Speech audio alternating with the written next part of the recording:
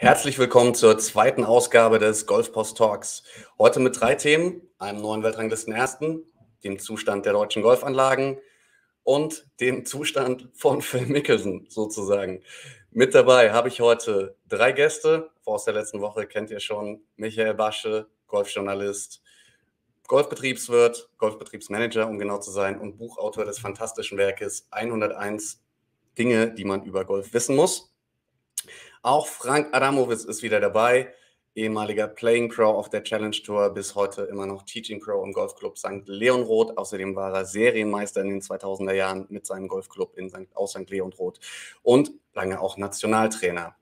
Nachher haben wir auch gleich noch den Stuart Orn dabei. Den stelle ich euch dann vor, wenn es Zeit ist. Und jetzt möchte ich erstmal Frank und Michael begrüßen. Hallo. Hallo, hallo. hallo liebe Golferinnen, hallo. Die Golfwoche hat einen Mann an die Weltranglistenspitze äh, gespült, von dem man es wahrscheinlich nicht unbedingt erwartet hätte, zumindest nicht vor sechs Wochen. Denn vor sechs Wochen hat er zum allerersten Mal auf der PGA Tour gewonnen und seitdem ja, noch zweimal, das heißt drei Siege in fünf Starts, macht den 25. Führenden der Weltranglistengeschichte. Scotty Scheffler im Vorgespräch habe ich da schon geteilte Meinungen gehört. Frank, Scotty Scheffler, Weltranglisten Erster, während wir nebenbei mal auf die Weltrangliste schauen wollen. Ähm, deine Meinung dazu? Ich glaube, selbst für Golf-Insider ist es eine Mordsüberraschung, weil den Namen, ich will nicht sagen, den kennt man noch nicht so richtig, aber so ganz hat man den vielleicht noch nicht so gespeichert für sich. Und da sieht man mal, wie die Weltrangliste so geführt wird, beziehungsweise die anderen Namen, die wir da auch sehen. Ich sage mal, wie, wie, wie, unkonstant alle so spielen. Äh, nichts gegen Scotty Scheffler, ein super Golfspieler. Das wäre Quatsch, wenn ich was anderes sagen würde. Aber den als Nummer eins sehe ich eigentlich nicht wirklich. Aber im Moment ist es halt. John Rahm spielt nicht konstant genug. Dann Dustin Johnson fehlt da irgendwo vorne. Und Rory McElroy, den ich immer sehr schätze, wo ich denke, das ist ein Mega-Golfer die spielen halt alle nicht konstant genug und Scotty spielt sehr konstant und wie du sagst, drei Siege in fünf Turnieren, das gibt es selten, hat es lange nicht gegeben.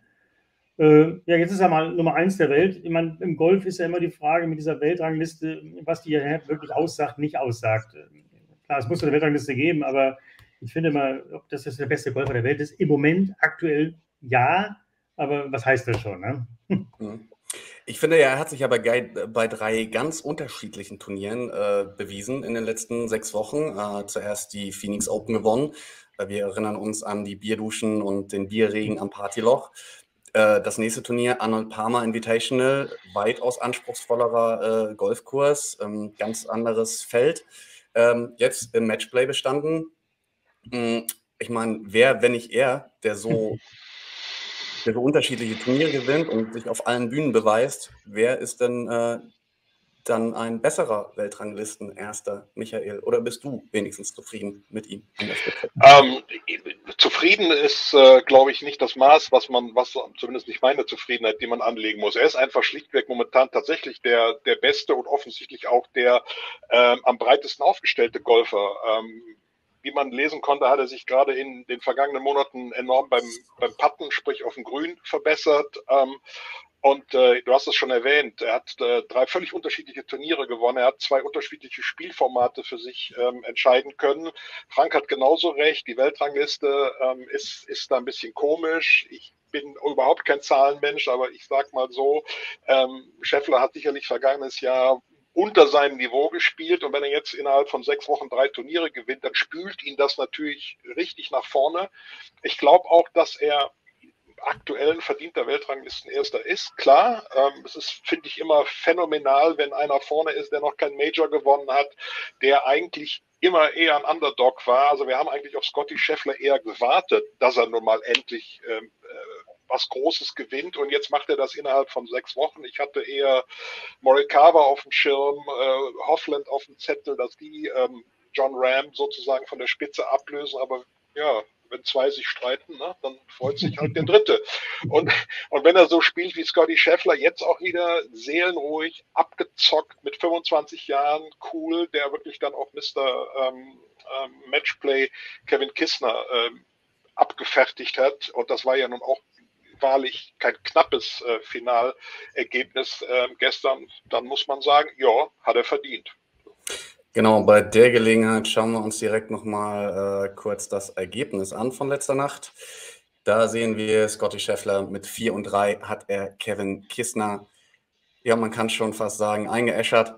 Ähm, zu keinem Zeitpunkt hat er hinten gelegen. Tatsächlich hat er, glaube ich, wenn ich es richtig, mehr als 50 Löcher während dieses Matchplay-Turniers nicht hinten gelegen, lag entweder immer vorn oder mindestens gleich auf mit seinem Kontrahenten natürlich auch eine beeindruckende Serie. Die wenigsten Duelle, die er da gespielt hat beim WGC Matchplay Event, äh, waren eng. Und damit hat er sich, ja, ich denke doch, kann man sagen, do, äh, verdient diesen dritten Sieg in fünf Wochen geholt.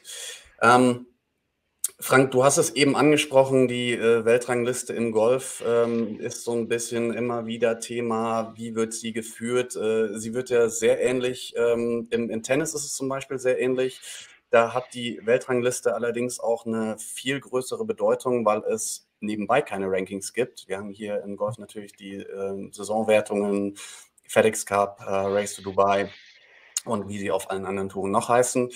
Ähm, schätzt du diese aktuelleren Rankings, denn die Weltrangliste bezieht sich ja immer auf die letzten zwei Jahre, schätzt du diese Saisonwertungen, diese Order of Merits als wichtiger ein als die Weltrangliste? Würde ich so sagen, ja. Und nochmal ein Satz eben, ich habe nochmal eben hingeguckt, also ich, hab, ich bin ja Golf verrückt und ich gucke auch gerne Golf im Fernsehen, aber das ist nicht böse jetzt gemeint, ich glaube, viele werden es genauso sehen wie ich. Die vier, die da gestern Abend gespielt haben, weiß ich nicht, das, das war, auch Kevin Kistner ist ein toller Spieler, ich weiß, aber der lacht ja nicht einmal. Der, der verzieht ja immer im Gesicht, als wenn ihm irgendeiner was weggenommen hätte. Ah, also, das sind jetzt nicht so die Leute, also für die würde ich jetzt nicht auf dem Golfplatz rennen, sage ich ganz ehrlich. Alles gute Golfer. Und, und ich meine, und diese Bürde, die er jetzt hat, Martin Keimer war ja auch mal Weltranglisten Nummer 1, habe ich damals auch mal gesagt. Martin Keimer war damals in einer mega geilen, super Form. Aber die Nummer 1 zu sein, ist natürlich schon, wow, das ist auch, das ist auch eine ganz schöne Bürde. Äh, die Nummer eins war halt, jetzt kommen wir wieder mit Tiger Woods, klar, der war über Jahre da oben an dieser Spitze. Mittlerweile wechselt das ja einmal relativ schnell. Das kann der nächste Woche schon wieder, wenn der John Rahm irgendwas gewinnt, schon wieder wechseln, ist der schon wieder Nummer eins. Also, das war nicht damit. Da ist ja keiner wirklich konstant lange da. Vielleicht ist Scotty Scheffler jetzt über Jahre da oben, kann das sein. Aber deshalb ist es immer so im Golf, jeder, der Golf spielt, weiß ja, was ich meine. Golfspiel ist so komisch, so, das sind so schwierige, verschiedene Dinge. Und wie du sagst, es gibt die European-Tour, die US-Tour, es gibt die Südafrika-Tour, es gibt so viele Touren. Äh, die, die kommen ja nicht immer alle so, so, so zusammen. Im, Im, Tennis gibt es halt eine Tour, die, und da spielen die halt alle. Und Djokovic, Nadal und wie die heißen, die gewinnen sich halt doof und dämlich. da, da weiß man es fast schon vorher irgendwie. Es, es, muss Ranglisten geben, es macht ja auch irgendwie Spaß, da hinzugucken, aber es sagt nicht immer das aus. Aber Scotty Scheffler ist natürlich ein mega Golfer. Also das, darüber müssen wir gar nicht reden. Hm. Aber ist es nicht vielleicht gerade schön, dass äh, im, im, im Tennis zum Beispiel in den letzten 18 Jahren gab es vier Personen an der Weltranglistenspitze, bis das jetzt kürzlich äh, endlich mal durch eine fünfte Person abgelöst wurde. Ähm, Tiger Woods hat zig Jahre die Weltranglistenspitze blockiert. Ähm, ist es nicht schön, auch äh, jetzt mal ein bisschen Abwechslung drin zu haben, eben vielleicht nicht diese Konstanz? Ähm, warum sehen sich immer alle nach einem Dominator, Michael? Ähm, lass mich kurz noch was vorwegnehmen, weil Frank es gerade angesprochen hat. Wir haben vergangene Woche darüber diskutiert, warum es nicht so viel Matchplay gibt. Das hast mhm. einen der Gründe gerade geliefert, Frank, weil es dann halt zu ähm, Sonntagssituationen kommt, wo dann keiner der Spieler bei aller Qualität einen so richtig vom Stuhl zieht, weil Kevin Kissner dieses, ähm, ich lasse mir, mir hat gerade einer irgendwie die Petersilie geklaut, äh, zum, zum Prinzip erhoben hat. Ähm, das macht es dann halt nicht so spannend, als wenn man sich, was weiß ich, 56, ähm, 60 Spieler in der Finalrunde anguckt, wo immer mal irgendeiner dabei ist, der ein bisschen mehr Pep, mehr, mehr, mehr Temperament hergibt. Das ist das eine. Ähm, das zweite ist, es liegt, glaube ich, einfach schlichtweg am Golfsport. Also ich will gar nicht so sehr auf dieses Weltranglistengezähle ähm, raus. Ich bin ohnehin kein großer Zahlenmensch, aber ähm, ähm, es liegt einfach am Golfsport. Äh, du spielst Tennis auf einem abgegrenzten Feld, da sind die Verhältnisse gleich. Ähm, da zwischendurch regnet es, dann gehst du vom Platz und es ist Pause. Wir spielen Golf immer noch in der Natur bei aller äh, Bearbeitung von Plätzen und, und, und Manikürtheiten etc. etc. Aber Golf ist ein Spiel in der Natur. Ähm, das ist von, von ganz vielen Imponderabilien gekennzeichnet. Und genauso spielt sich das dann auch in den Rankings ab. Da ist mal der, da ist mal der, da kommt mal der besser zurande mit in der Verbindung mit der Tagesform. Ja, und wenn Tiger Woods über, was weiß ich, 700 irgendwas Tage oder keine Ahnung, die, die, die den Platz 1 blockiert hat, dann liegt das einfach an seiner Ausnahmestellung, die er hat. Es ist halt nochmal eine andere Dimension von Spieler gewesen. Und momentan haben wir ja, glaube ich, das, was, was sich, wie man so schön sagt, die Spitze ist sehr breit geworden. Ich glaube, Berti Vogt hat das mal gesagt. Aber das ist genau der Punkt. Wir haben in den Top 10 ähm, zwei Spieler über 30, Justin Johnson und McElroy. Ähm, und alle, die anderen, die junge Leute ganz vorne, und die können alle morgen, übermorgen, wenn die mal heiß laufen, Weltranglisten Erster werden. Das kann sich nächste Woche beim Masters schon wieder ändern. Dann geht Scheffler unter, das kann passieren und äh, wir haben einen anderen vorne, weil er vielleicht das Masters gewonnen hat. Also das, aber das ist, glaube ich, das Interessante. Nicht, nicht gegen Nadal und, und Federer und, und, und äh, Djokovic, äh, doch gegen Djokovic habe ich schon was, aber das ist was anderes. Aber ähm, das ist ja alles toll. Aber ich finde, diese Breite macht es echt total spannend. So, dann kann ich auch langweilige Finalrunden aushalten. Als letzte Frage äh, zu dem Thema, ähm, denn ich bin inhaltlich eher bei dir, Michael. Äh, ich muss aber auch sagen, ähm, dass ich auch finde, dass Scotty Scheffler abseits seines sportlichen Erfolges etwas die Strahlkraft fehlt. Wer glaubt ihr denn ist momentan äh, die Strahlkraft Nummer eins? Oh.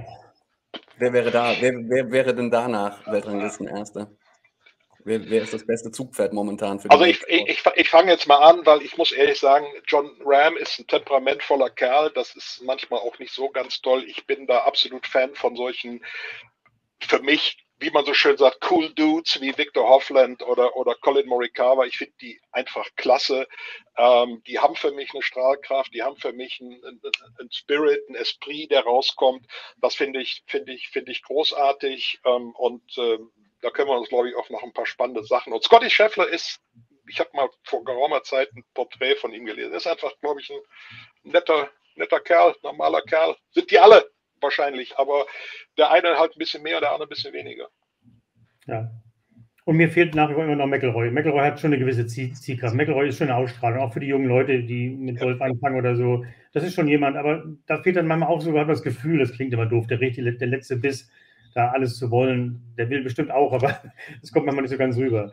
Aber ja, aber du hast schon recht, Michael, also, weil zu viele sind, macht es vielleicht die Sache interessanter und jeder kann sich auch wiedererkennen, auch wenn man mal jetzt so Golfschwungtechnisch mal anfängt, wenn man den Scotty Scheffler schwingen sieht und den Füßen im Trefferment zuguckt, da gibt es ja manchmal ganz interessante Aufnahmen da übertragen, da denkst du, der fällt gleich auf die Schnauze, aber er steht immer noch still am Schluss und äh, der Ball fliegt noch geradeaus. Finde ich auch gut, also dass nicht immer alles so perfekt ist, finde ich, finde ich schon gut, dass es ein bisschen mehr, das, das, das meine ich, dass sich da jeder normale Golf auch so ein bisschen wiedererkennt. Hm. Ja. Wunderbar. Dann sind wir, ich sage jetzt einfach mal durch mit Scotty Scheffler, zumindest für jetzt und hier. Ich denke, er wird uns noch einige Zeit erhalten bleiben. Wie lange an der Weltranglistenspitze werden wir sehen. Kommen wir zum nächsten Punkt für heute. Und zwar von der Weltranglistenspitze geht es jetzt an die Spitze der deutschen Golfanlagen sozusagen. Und zwar haben wir heute eingeladen den Stuart Orm. Stuart Orm ist Geschäftsführer der, des Golfparks Steinhuder Meer sowie Golfpark am Deinster und außerdem Vorstandsmitglied im BVGA, dem Bundesverband Golfanlagen in Deutschland. Und in eben dieser Funktion möchten wir jetzt mit ihm, möchte ich jetzt mit ihm sprechen, und zwar über den Zustand der Golfanlagen. Wir stehen vor einer neuen Saison. Ähm, wir kommen aus einer ganz komischen Zeit, die irgendwie auch noch nicht so richtig vorbei ist. Corona-Pandemie ist das Stichwort.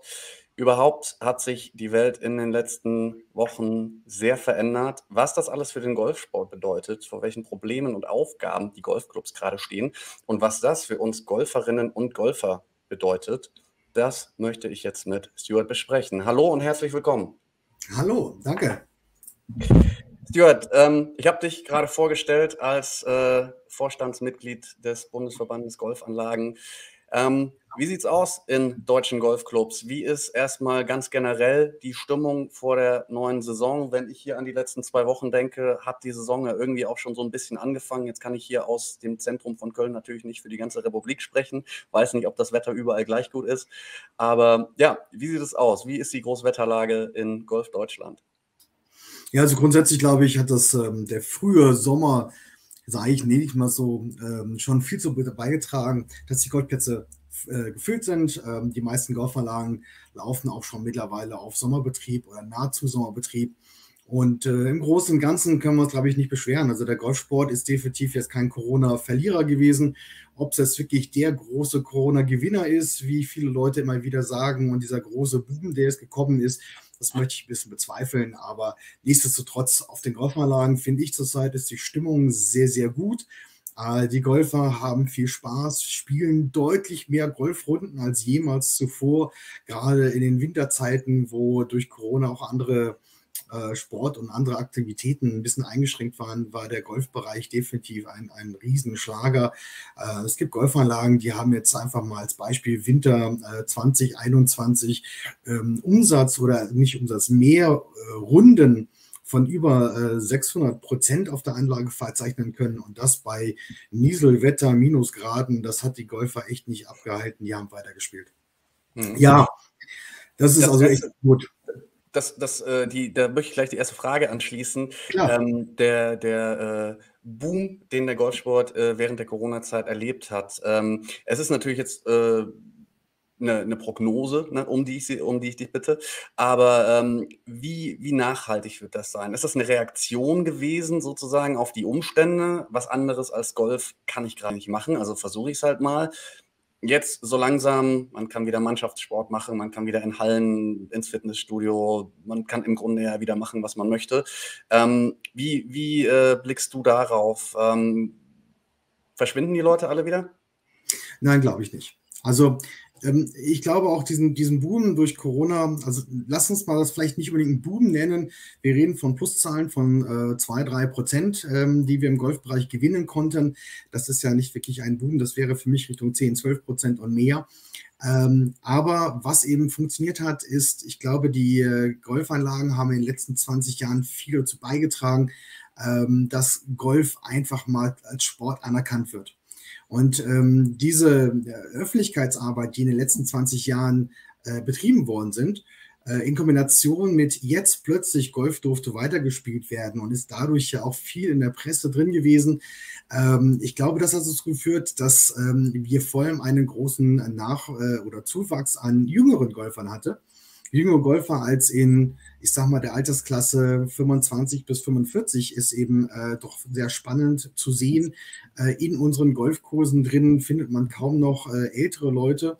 Äh, auch der Bereich Familien und Jugend hat sehr, sehr stark zugenommen im Vergleich zu den ganzen letzten Jahren, wo wir gerade da eher Verluste verzeichnen konnten. Und ja, ähm, ich glaube, es ist nachhaltig, aber wir Golfanlagen müssen natürlich auch uns anpassen.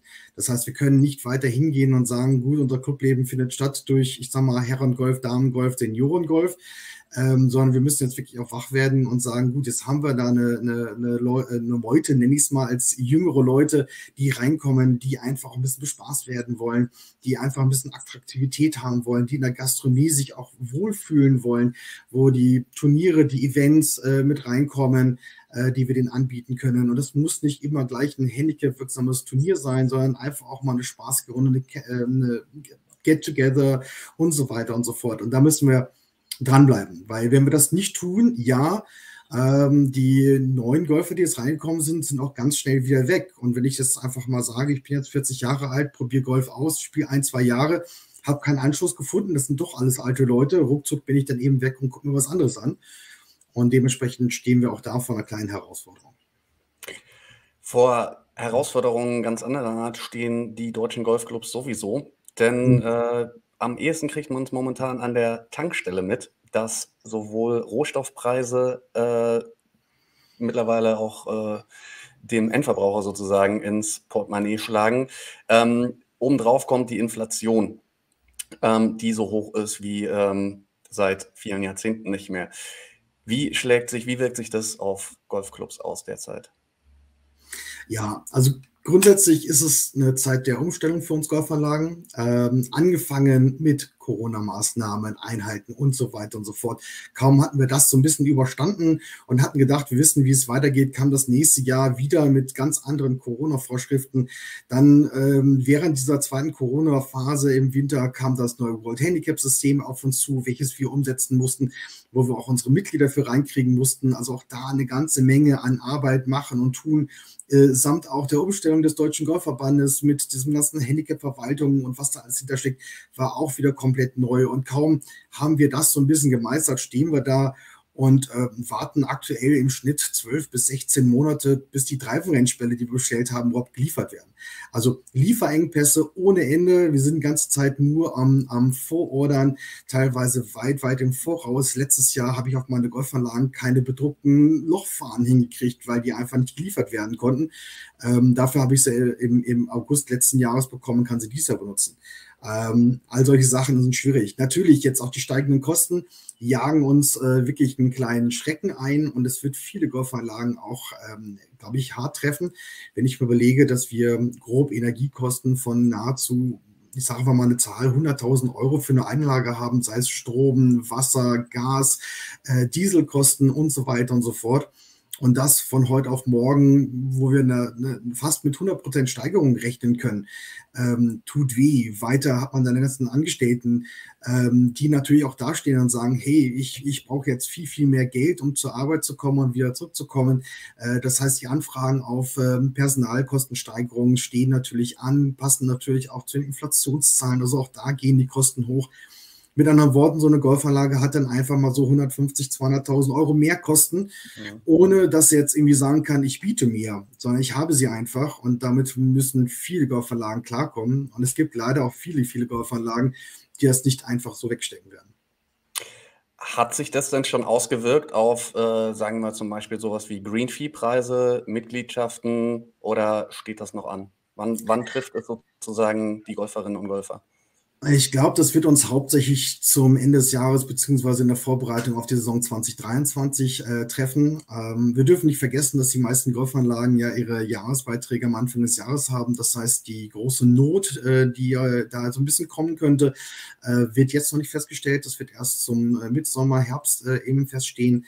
Ähm, sagen wir es mal so, wenn die Kosten äh, so bleiben oder gar weiter steigen, gehe ich davon aus, dass die Kosten auch im Golfbereich sich anpassen werden müssen. Das heißt, wir werden für 23 mit äh, Beitragserhöhung, Greenfee-Erhöhung und ähnlichem rechnen müssen. Aber es ist klar, wenn überall die Kosten um fünf bis zehn Prozent steigen, äh, wie so eine Golfanlage das wegstecken, mhm. ohne es äh, aufzumachen. Holen wir Frank und Michael wieder dazu, denn auch die beiden sind seit Jahrzehnten äh, im, im Clubleben sozusagen äh, in ganz unterschiedlichen Rollen aktiv. Ja, Frank, wir sind wieder da. Ähm, Frank, dann bleiben wir gleich bei dir, wo ich jetzt einmal deine Aufmerksamkeit habe.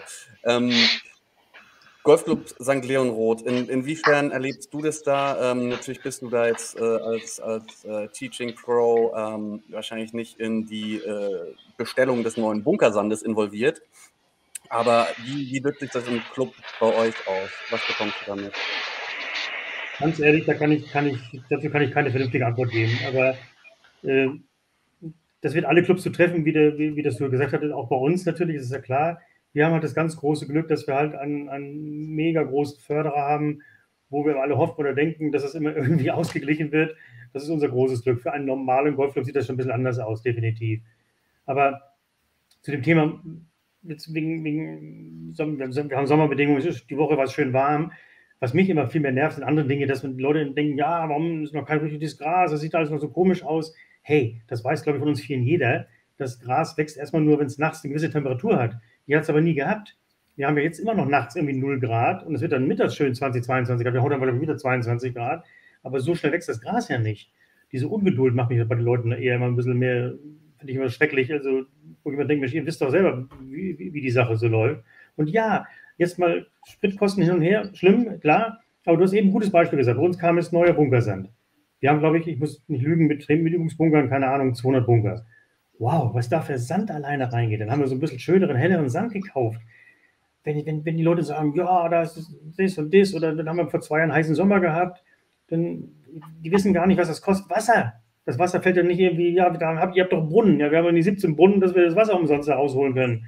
Also ich glaube, das wird das auch bestätigen können, dass die Leute manchmal sich aber auch zu wenig Gedanken machen, was alles dahinter steckt, um erstmal die normalen Kosten immer alle so, so zu decken. Das ist ja alles, wenn einer zu Hause einen Garten hat, der weiß er selber, wenn er einen Garten schön pflegen will, was er da alles reinhauen muss. Und wir haben 235 Hektar. Wow, ich weiß nicht, ich glaube 3000 Sprenger, so, wenn das Wasser da rauskommen soll. Aber das kommt ihm ja nicht zugeflogen. Ne? Also ich kann zu den Kosten nichts sagen, aber ich, mich nervt immer so die Ungeduld von den Leuten, die kein Verständnis haben, dass das ja, wir haben zwar März, wir haben keinen Winter gehabt, in Anführungsstrichen. Also bei uns war nicht ein Tag Schnee. Ist ja kein Winter für mich. Wir haben auch tagsüber immer noch Plus gehabt, aber nachts oft Frost. Aber es wächst doch noch lange nichts. Michael, vielleicht kannst du uns ein bisschen äh, in deiner Eigenschaft als Golfbetriebsmanager ein bisschen aufklären, ohne jetzt vielleicht den aktuellen Sandpreis auf dem Weltmarkt zu kennen. Aber den, den, den kenne ich, den kenne ich nicht. Äh, der würde mir wahrscheinlich auch Angst einjagen, weil ich habe es äh, vor geraumer Zeit mal geschrieben. Sand gehörte mittlerweile schon zu den sogenannten seltenen Erden. Ähm, von daher ist das, ist das ein Riesenthema und äh, ich kann nur das ähm, unterstreichen und da ist Stuart natürlich nochmal ganz weit vorne als Experte. Ich bin ja nur derjenige, der zwischendurch mal ein bisschen hier und da reinhört. Ähm, das ist tatsächlich ein Riesenthema und es fängt bei, bei, bei, bei, bei Golf, bei Rangebällen an ähm, und hört beim Sand auf, es hört bei Düngemitteln auf, die gehen immer höher, die, die Preise gehen, gehen in, die, in die Luft weltweit, äh, müssen darüber nicht reden. China als Hauptdüngemittelproduzent, ähm, Rohstoffknappheit, Lieferprobleme, Produktionsengpässe, gestiegene Kosten, dazu die generelle Inflation.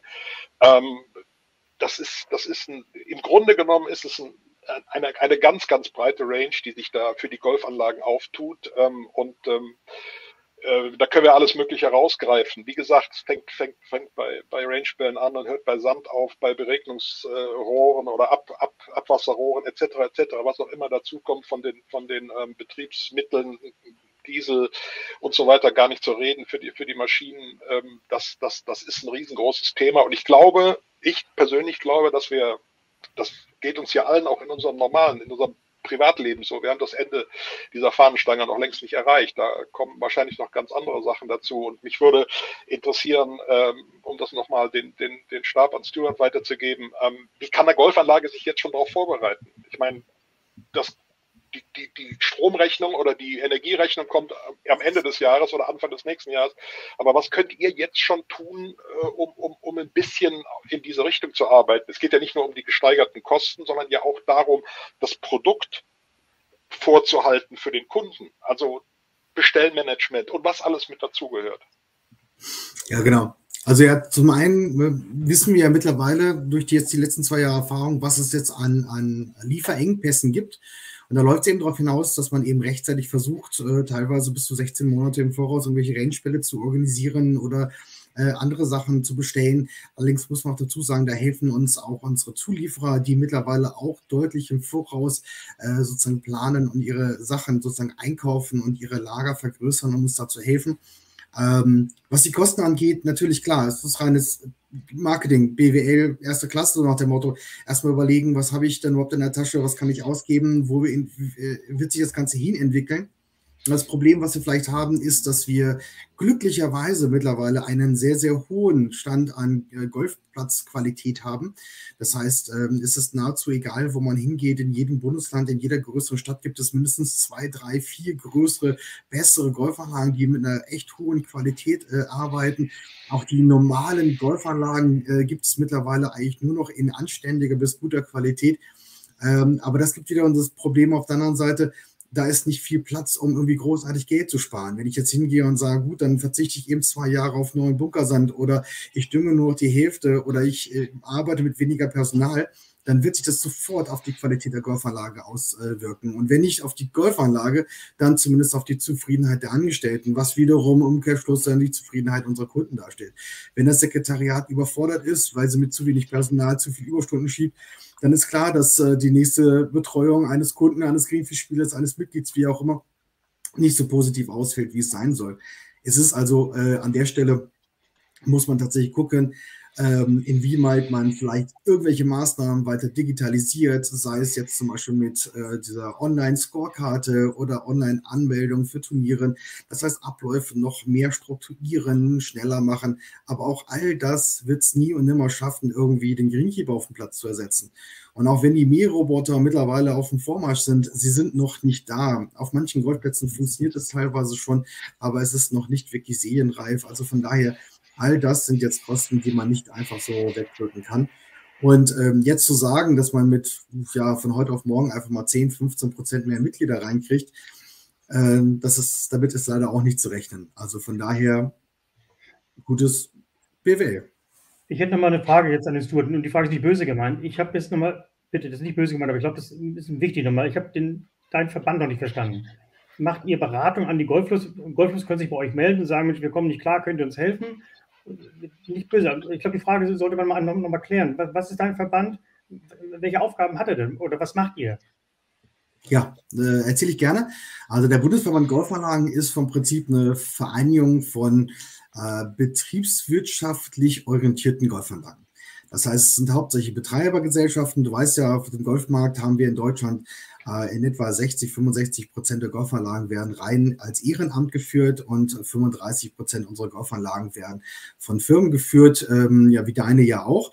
Ähm, wo effektiv jemand dahinter steckt. Ich sage mal, das groß, der größte Unterschied ist, ähm, die Inhaber unserer Golfanlagen dürfen vieles alleine entscheiden, wenn es darum geht, ähm, Maßnahmen zu treffen, stehen aber Ende des Tages allerdings auch mit ihrem eigenen Portemonnaie da, wenn es eben nicht klappt und müssen eben ziehen und nachlegen. Ähm, ähm, und die haben ähm, zum Teil andere Interessen oder andere Gesichtspunkte. Und äh, wir bei uns konzentrieren uns hauptsächlich darum, wie man eine Golfanlage effizienter laufen lassen kann, wirtschaftlicher laufen kann, am Ende des Tages mehr Gewinn aus einer Anlage rausbringen kann, wie man eben eine Verlustanlage in den Gewinnbereich hineintreiben kann, wie man die Zufriedenheit der Kunden steigern kann. Und all solche Punkte ist eben bei uns ganz groß im Vordergrund. Und äh, dazu haben wir eben den Verband, äh, der dafür sorgt, dass wir uns auch gegenseitig unterstützen. Weil, wie es so, so schön heißt, das Rad muss nicht neu erfunden werden. Jeder von uns hat eine gute Idee und diese Ideen werden eben in, diesen, in diesem Verband sozusagen gesammelt und weitergeleitet, äh, um den Golfplätzen zu helfen. Mhm. Fand ich nochmal wichtig, weil es war irgendwie nicht so ganz klar. Also finde ich, die, die hier zuhören, die können sich dann bei euch melden. Wenn einer sagt, ich brauche was, dann so. Genau. genau richtig. Genau richtig. Fantastisch. Dann hat Frank heute auch schon was gelernt. Allein dafür hat sich doch unsere Aufzeichnung schon gelohnt.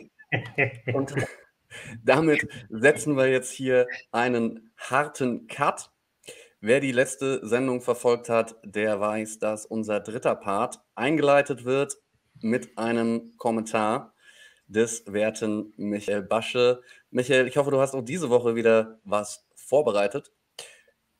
Äh, ja, ich habe natürlich was vorbereitet und ich habe es ja auch vergangene Woche schon angekündigt. Ähm, wir müssen dringend mal über Phil Mickelson reden, der gerade für jede Menge Gesprächsstoff sorgt. Ähm, ich zähle mal kurz auf. Superstar, Hall of Famer, über 50 Profisiege, sechs Majors, dazu ältester Majorsieger aller Zeiten und, und, und. Ähm, als Spieler ist Phil the Thrill, Thrill, genial. Menschlich wird er dem Namen derzeit eher auf ähm, seltsame Weise gerecht. Erst nervt er nach dem Gewinn der PGA Championship vergangenes Jahr auf Kiowa Island, bei allem Respekt vor der Leistung an sich, mit seiner Eitelkeit und seinen permanenten, teils überheblichen Selbstinszenierungen. Das mag ja noch Geschmackssache sein, okay. Dann macht er einen Riesenfass zum Umgang der PGA-Tour mit den Medienrechten auf, mit dem Recht der Spieler am eigenen Bild. Er vergreift sich zum ersten Mal mächtig im Ton dabei. Man kann sicherlich über die Politik und das Geschäftsgebaren in Ponte Vedra Beach, also im Hauptquartier der PGA-Tour, eine Menge auch kritische Worte verlieren, aber die Tour als Diktatur zu bezeichnen, das geht echt zu weit. Und wenn Mickelson dem Commissioner Jay Monahan und seiner Organisation, Zitat, widerliche Gier, Zitat Ende vorwirft, dann hat er dabei wahrscheinlich eher in den Spiegel geschaut. Und zum Schluss kommt dann noch raus, dass Mickelson mit Greg Norman und den Saudis heimlich gemeinsame Sache macht und mit drei anderen noch unbekannten Spielern sogar tatkräftig die juristische Konstruktion eines Konkurrenzcircuits unterstützt, sprich finanziert hat. Und dass ihm völlig egal ist, mit wem er sich da einlässt. Sein Zitat von den Scary Motherfuckers wiederhole ich jetzt nicht. Äh, es ist ja immer so egal, mit wem man sich einlässt. Hauptsache, er kann die Tour aushebeln. Und in meiner Wahrnehmung hat er damit den Bogen endgültig überspannt. Ähm, Mickelson ist momentan abgetaucht. Die Tour hat ihm wohl nahegelegt, sich mal selbst in die Ecke zu stellen, wie früher in der Schule. Und auf mehr oder weniger sanftes Drängen von Augusta National übt er sich auch fürs Masters nächste Woche in Verzicht. Man darf jetzt gespannt sein, ob er bei der PGA Championship im Mai zur Titelverteidigung überhaupt antritt. Aber egal wie, wer derart Maß und Mitte verliert wie Mickelson und mit einem erklärten Gegner paktiert, der hätte auch verdient, auf Lebenszeit gesperrt zu werden, dann soll er doch bei seinem Intrigen-Intimus Greg Norman spielen. Oder wie ich es formulieren würde, aus dem begnadeten Kurzspieler ist ein Falschspieler geworden und sein Spitzname Lefty steht neuerdings vor allem für linke Bazille. Für mich ist Phil Mickelson vom Publikumsliebling zum Paria geworden und erst die Zeit wird zeigen, ob er sich nicht aus lauter Selbstgefälligkeit und Selbstüberschätzung binnen einer Handvoll Monate das sportliche Lebenswerk von über 30 Jahren versaut hat. Ich habe fertig. Vielen Dank dafür, Michael. Ja, harte, harte Worte in Richtung Phil Mickelson. Ich hoffe, er erholt sich von diesem Schlag. Ähm, aber wollen, wollen, wir, wollen wir das ähm, vielleicht auch noch mal kurz ernsthaft ansprechen? Ähm, ich muss ehrlich sagen, auch bei mir hat er ganz viel Kredit verspielt, denn eigentlich könnte man ja auch sagen, gerade er, der so viel vom Golfsport profitiert hat, mit jahrelangen Eskapaden schon weit bevor es überhaupt in äh, irgendwas äh, sowas wie die Saudi League äh, oder dieses Gedankenspiel auch nur gab. Ähm, sein, in seinem Privatleben lief vieles nicht so richtig. Äh, da haben ihm viele Menschen geholfen und auch der Golfsport geholfen. Ähm, Equipmenthersteller haben ihm geholfen, als er mit vielen Millionen in der Kreide stand, äh, aufgrund von Wett- und Spielschulden. Ähm, er hätte also eigentlich, und das sind nur zwei Beispiele, ganz viele Gründe, um ein bisschen mehr Dankbarkeit an den Tag zu legen. Ähm, Frank, legen wir, Michael und ich, die moralische Messlatte zu hoch oder ist vielleicht doch irgendwann dann auch mal gut? Also ich muss echt sagen, Michael, sensationell, ein mega Kommentar. Ich kann jedes Wort davon unterstreichen. Leider, leider, weil er ist ja bei den Fans beliebt. Das ist ja, er ist ja ein Zugpferd. Wir haben vorhin wegen Weltrangliste und Schäffler rauf und runter gesprochen. Mickelson wäre ja, ist ja ein Zugpferd. Aber das haben wir jetzt verloren. Und ich meine, wenn er, wenn er mal ganz alleine zu Hause sitzt, in sich geht, dadurch, als Tiger Woods auf die Tour gekommen ist und gut geworden ist, sind die Preisgelder explodiert bis heute ob wir eine weltweite Rezession haben, ob wir Schwierigkeiten haben, was auch immer, die Tour wächst und wächst und wächst, finanziell meine ich jetzt. Wenn man jetzt mal guckt, vor zwei Wochen äh, Players Championship Sieger, der Sieger 3,6 Millionen, der vierte kriegt immer noch eine Million. Also dann so ein wirklich dummes Interview zu geben, wie er gemacht hat, ich bin überrascht, weil er ist Ende 40, ist ein vernünftiger Mann. Man kann sich das gar nicht, man weiß gar nicht, was ihn da geritten hat. Und das ist sehr schade. Und ich glaube, behaupte, die Tour hat ihn gesperrt. Ich meine, der kann ja als Mastersieger immer teilnehmen, eigentlich. So, und er spielt nicht mit. Und das macht er, wenn er irgendwie könnte, der würde das spielen. Ganz klar. Aber die wird ihn, wird ihn gesperrt haben. Und dass es so weit kommen muss, ist eigentlich traurig. Aber viele, viele seiner Spielekollegen haben ja auch schon darauf geantwortet. Auch McElroy hat gesagt, ich glaube, was, ich weiß nicht, was bei dem los ist, wenn wir mal ganz ehrlich sind, was wir jede Woche verdienen können. Und das ist ja Wahnsinn. Und so muss man es auch sehen. Schade. Ich glaube, das wieder heile zu machen, schwierig. Schade. Stuart, ich weiß, äh, das Profi-Golfgeschäft äh, ist nicht mehr so ganz deins, aber Phil Mickelson kann man ja gar nicht nicht kennen. Ähm, wie, wie geht es dir als, als Golfer, als Golffan damit, ähm, dass so ein über Jahrzehnte lang dominierendes Zugpferd des Golfsports ähm, sich in, in wenigen Wochen so, so selbst ruiniert? Ja, ich glaube, für, für die Golfwelt ist das ähm, große Problem. Wie wir es ja vorhin schon gesagt haben, äh, viele unserer neuen Profi-Stars sind ja, ich nenne es mal, auf der Golfanlage emotionsneutral. Wenn man das als Golflehrer betrachtet, ist das mal vielleicht das, der beste Weg, um erfolgreich Golf spielen zu können. Aber diese Emotionen, dieses, dieses Showbusiness, was dazugehört, um die, die Medien äh, zu begeistern, das haben wir vor ein paar Jahren echt groß gehabt. Auch mit Tiger Woods, auch mit Phil Mickelson, ähm, Sergio Garcia und wie sie auch alle heißen. Das waren einfach Leute, die haben nicht nur ihr Bestes gegeben und haben Erfolg gezeigt, sondern sie waren mit Leib und Seele dabei, was man heutzutage ein bisschen vermisst. Und wenn ich jetzt hier wieder einen Spieler sehe, der leider Gottes oder in diesem Fall nicht aus Altersgründen oder nicht aus Spieltalentgründen effektiv sich von Natur verabschiedet, ähm, das auf einer so Art und Weise, dann ist das echt sehr, sehr traurig und ähm, ich werde ihn auf der Tour sehr vermissen. Aber ich kann absolut verstehen, dass das geht nicht. Das macht man einfach nicht, das gehört nicht dazu. Und ähm, von daher hoffen wir mal, dass sehr schnell wieder was Neues kommt, welches mit so viel Charakterstärke auf die Golfanlage geht und das Publikum mitreißt. Noch ein Punkt zu Mickelson. Alle Sponsoren, der hat, der hat sehr gute Sponsoren gehabt. Fast alle haben gesagt, Schluss, Ende. Und einer hat noch so, wartet noch so ein bisschen. Wow, das ist auch ein Hammer, ne? Das ist auch, das machen die auch nicht so einfach. Ja. ja. Und es gibt noch eine Anmerkung, die ich da jetzt gerade nicht reingepackt habe. Einer wie Phil Mickelson mit dem Namen da geht in, bei der PGA Tour jede Tür auf. Wenn der Bedürfnis hat zu reden und wenn der sagt, pass mal auf, ich habe da ein Problem oder ich habe da irgendeine Ungerechtigkeit oder irgendwas ausgemacht, lass uns mal bitte darüber reden. So wie es zum Beispiel Tiger Woods gemacht hat, der sich nicht so aus dem Fenster gehängt hat, sondern das ganze Thema intern angesprochen hat. Die haben einen Spielerbeirat. Ähm, Roy McElroy sitzt, saß mit drin ähm, und, und, und ist im Advisory ähm, ähm Board, im Policy Board und was auch immer. Also man kann diese ganzen solchen Themen ansprechen. Und wenn man das dann auf die Art und Weise wie Phil Mickelson macht, dann hat das nichts mit einer, sagen wir mal, seriösen äh, Hin Hinwendung zum Thema zu tun. Dann geht es um Mickelson, geht es nur um Mickelson. Und das macht es, macht es so schlimm, finde ich. Besser hätte ich es auch nicht zusammenfassen können. Deswegen würde ich sagen, ist das der Punkt, an dem wir das einfach so stehen lassen. Da können jetzt alle mal drüber nachdenken für ein paar Minuten. Ähm, ich darf mich bei allen Golferinnen und Golfern bedanken und auch alle, die noch nicht Golf spielen, ähm, fürs Zuschauen. Noch mehr würde ich mich freuen, wenn ihr uns ein bisschen Feedback dazu gibt, äh, zu dem, was wir hier gerade erzählt haben.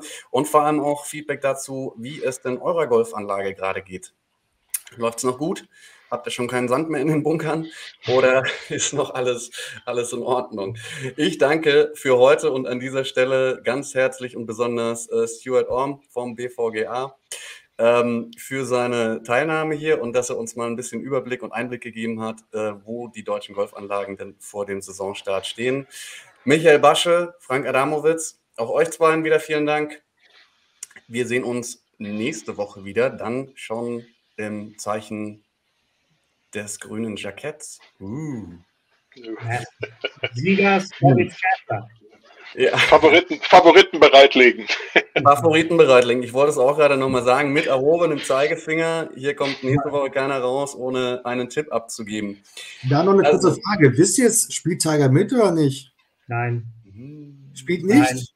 Nein. Nein. Ich glaube es auch nicht. Er hält es offen. Er hält offen.